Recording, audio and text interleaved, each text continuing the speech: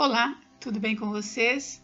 Hoje, dia 103 da nossa leitura da palavra, nós estamos dando início ao primeiro livro das Crônicas. Este livro não revela especificamente o nome do seu autor, mas a tradição é que os dois livros das crônicas foram escritos por Esdras e provavelmente foi escrito entre 450 e 425 a.C. Uma crônica é um relato de acontecimentos históricos apresentados na ordem em que ocorreram. Embora os livros das crônicas abrangerem praticamente as mesmas informações que os dois livros de Samuel e os dois de Reis, primeiro e segundo crônicas se focalizam mais no aspecto sacerdotal da época. O primeiro livro das crônicas foi escrito depois do exílio para ajudar aqueles que estavam retomando a Israel a compreender como adorar a Deus, pois tem mais detalhes que esclarecem como o Senhor agiu com o seu povo. A história se concentrava no Reino do Sul, as tribos de Judá, Benjamim e Levi, sendo que essas tribos tinham a tendência de ser mais fiéis a Deus. O livro traz a genealogia de Adão até Davi, relata a morte de Saul e também narra os problemas e conquistas enfrentados por Davi e Salomão e a preparação para a reconstrução do templo, conhecido como Templo de Salomão. Conta as reformas promovidas por Josafá, Ezequias e Josias, e ainda sobre a grande parte do povo ter continuado fiel a Deus. O primeiro livro das crônicas registra a ascensão de Davi ao trono e suas ações depois disso, e termina com o filho de Davi, Salomão, tornando-se rei de Israel. Genealogias, como as que vemos neste livro, podem até parecer chatas e maçantes para nós, mas elas nos lembram que Deus conhece cada um de seus filhos pessoalmente, até mesmo o número de cabelos de nossa cabeça, como vemos em Mateus 10, 30.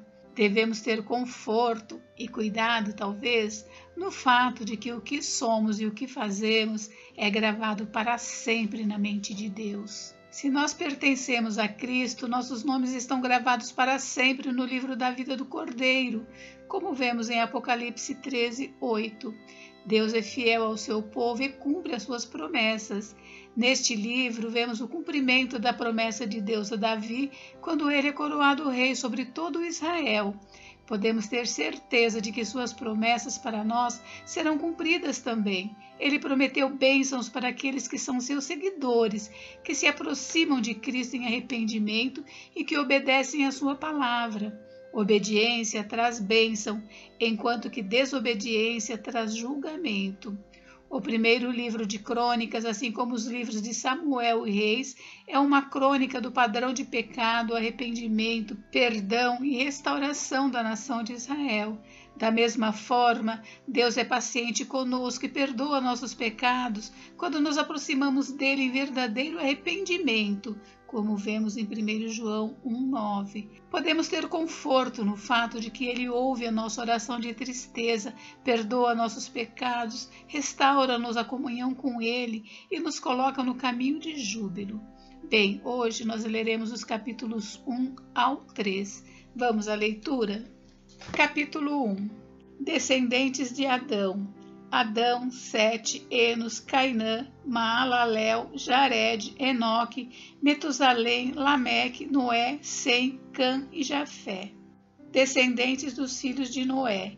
Os filhos de Jafé foram Gomer, Magog, Madai, Javã, Tubal, Meseque e Tiras. Os filhos de Gomer, Askenaz, Rifate e Togarma. Os filhos de Javã, Elisá, Tarsis, Quitim e Rodanim. Os filhos de Cã, Cuxi, Misraim, Pute e Canaã. Os filhos de Cuxi, Seba, Avilá, Sabitá, Ramá e Sabitecá. Os filhos de Ramá, Sabá e Dedã. Cuxi gerou a Nimrod, que começou a ser poderoso na terra. Misraim gerou a Ludim, a Anamim, a Leabim, a Nafituim, a Patruzim, a Casluim, de quem descendem os filisteus, e a Cafitorim. Canaã gerou a Sidom, seu primogênito, a Et, aos Jebuseus, aos Amorreus, aos Girgazeus, aos Eveus, aos Arqueus, aos Sineus, aos Arvadeus, aos Emareus, aos Amateus. Os filhos de Sem, Elão, Assur, Arfaxade, Lude, Arã, Us, U, Jeter e Meseque. Arfaxade gerou a Selá, e Selá gerou a Eber. A Eber nasceram dois filhos. O nome de um foi Peleg, porquanto nos seus dias se repartiu a terra, e o nome de seu irmão era Joquitã. Joquitã gerou a Almodá, a Salef, a Azarmavé, a Gerá, a Adorão, a Uzal, a Dicla, a Ebal, a Abimael, a Sabá, a Ofir, a Avilá e a Jobabe. Todos estes eram filhos de Joctã. Descendentes de Sem, Sem, Arfaxade, Selá, Eber, Peleg, Reu, Serug, Naor, Tera e Abraão, e é Abraão. Descendentes de Ismael, os filhos de Abraão, Isaque e Ismael. São estas as suas gerações. O primogênito de Ismael foi Nebaiote, depois Quedar, Adibeel, Bibição, Misma, Dumá, Massá, Haddad, Temá, Getur, Nafes e Quedemá. Esses foram os filhos de Ismael. Descendentes de Abraão e Quetura. Quanto aos filhos de Quetura, concubina de Abraão, esta deu à luz a Zinrã, a Joquizã e a Medã, a Midian, a Isbaque e a Sua, os filhos de Joquizã, Sabá e Dedã, os filhos de Midian, Efa, Éfer, Enoque, Abida e Elda. Todos esses foram os filhos de Quetura. Abraão, pois, gerou a Isaque, os filhos de Isaque, Esaú e Israel. Descendentes de Esaú. Os filhos de Esaú, Elifaz, Reuel, Jeus, Jalão e Coré. Os filhos de Elifaz, Temã, Omar, Zefi, Gaetã, Kenaz, Tímina e Amaleque. Os filhos de Reuel, Naate, Zerá, Samá e Mizá. Descendentes de Seir.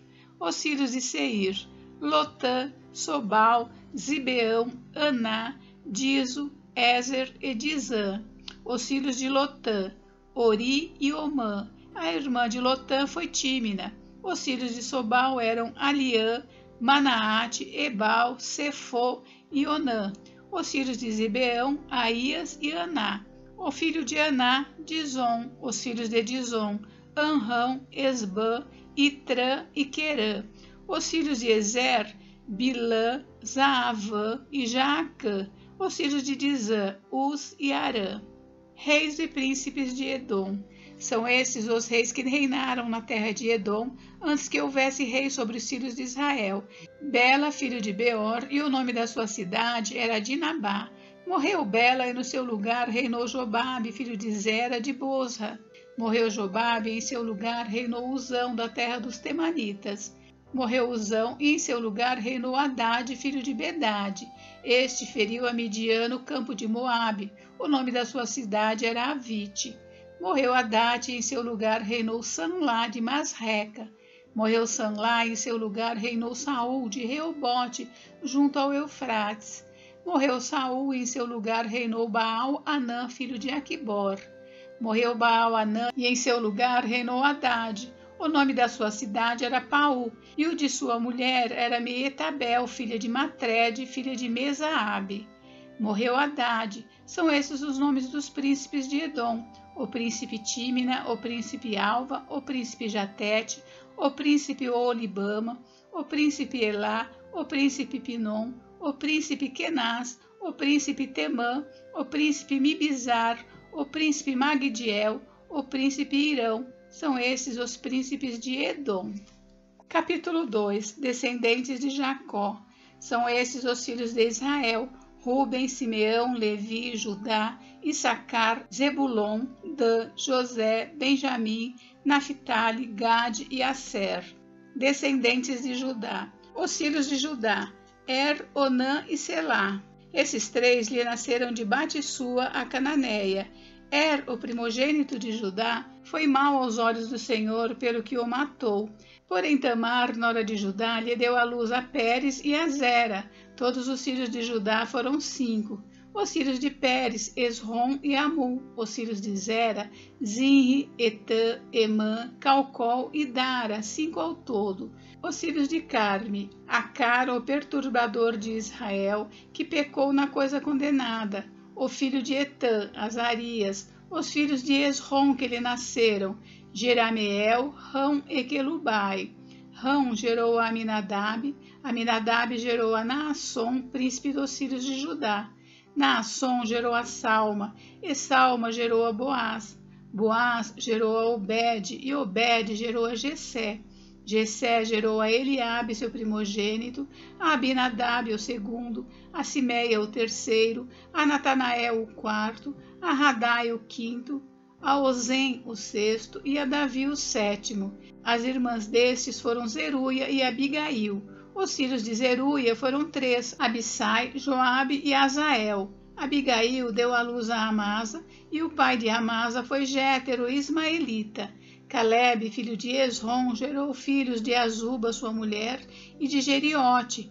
Foram esses os filhos desta: Gesser, Sobabe e Ardom. Morreu Azuba e Caleb tomou para si a Efrata, da qual lhe nasceu Ur. Ur gerou a Uri e Uri gerou a Bezalel. Então Esrom coabitou com a filha de Maquir, pai de Gileade. Tinha ele sessenta anos quando a tomou e ela deu à luz a Segube. Segube gerou a Jair, que teve vinte e três cidades na terra de Gileade. Jesur e Arã tomaram as aldeias de Jair, juntamente com Kenate e suas aldeias, a saber, sessenta lugares. Todos estes foram os filhos de Maquir, pai de Gileade. Depois da morte de Esrom em Caleb e Efrata, Abia, mulher de Esrom, lhe deu a Azur, pai de Tecoa. Os filhos de Jerameel, primogênito de Esrom, foram Rão, o primogênito, Buna, Orem, Ozem e Aías. Teve Jerameel outra mulher, cujo nome era Tara. Esta foi a mãe de Onã. Os filhos de Rão, primogênito de Jerameel, foram Maás, Jamim e Equer foram os filhos de Onã, Samai e Jada, e os filhos de Samai, Nadab e Abissur. A mulher de Abissur chamava-se Abiail, e lhe deu a Abã e a Molide. Os filhos de Nadab, Seled e Apaim, e Seled morreu sem filhos. O filho de Apaim, Ize, o filho de Ize, Cesã, e o filho de Cesã, Alaí. Os filhos de Jada, irmão de Samai, foram Jéter e Jonatas, e Jéter morreu sem filhos. Os filhos de Jonatas, Pelete e Zaza, esses foram os filhos de Jerameel.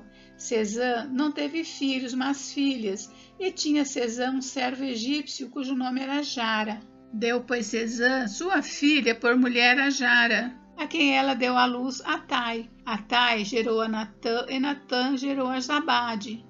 Zabade gerou a Eflau, e Eflau a Obed. Obed gerou a Jeú, e Jeú a Azarias. Azarias gerou a Elis, e Elis a Eleasa. Eleasa gerou a Sismai, e Sismai a Salum. Salum gerou a Jecamias, e Jecamias a Elisama. O primogênito de Caleb, irmão de Jerameel, foi Maressa, que foi o pai de Zife. O filho de Maressa foi Abi Hebron.